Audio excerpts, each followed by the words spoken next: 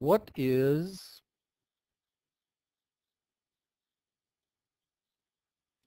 fifteen percent of eighty-four?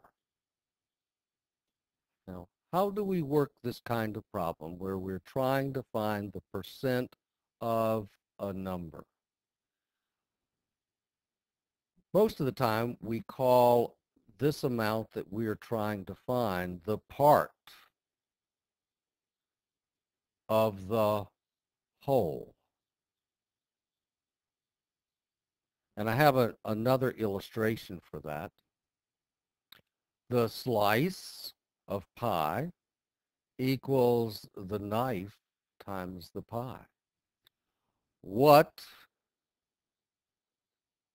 is 15%, that's the knife, and the pie is 84, the whole thing. And so to find the slice, to find the part, we multiply the percent times 84. Now we can't really multiply with percent. In order to multiply it, in order to do math with it, we're either going to have to change it to a decimal or to a fraction. Let's change it to a decimal. 15% is 0.15.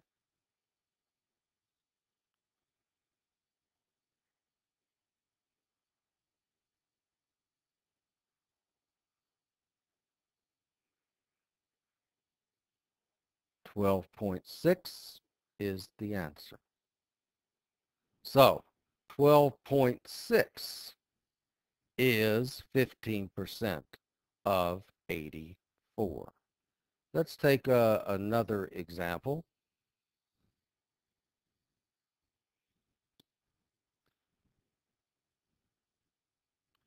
What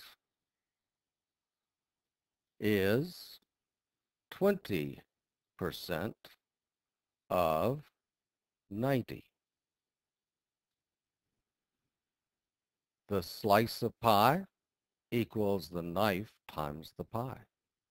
90 times 0.2. We don't need to write the 2 0.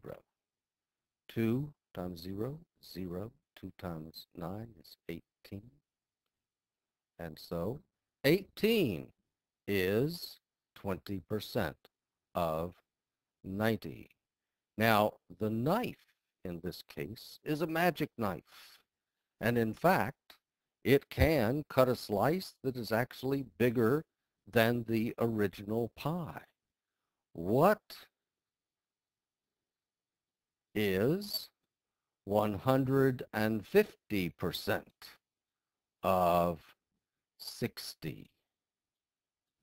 And so we can 150% of 60 well, 100% of 60 will be 60. And another 50% of 60 is 30.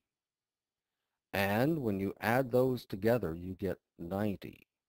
So 90 is 150% of 60. Or I could have done it this way. 60 times 150. Decimal point goes there. 0, 0, and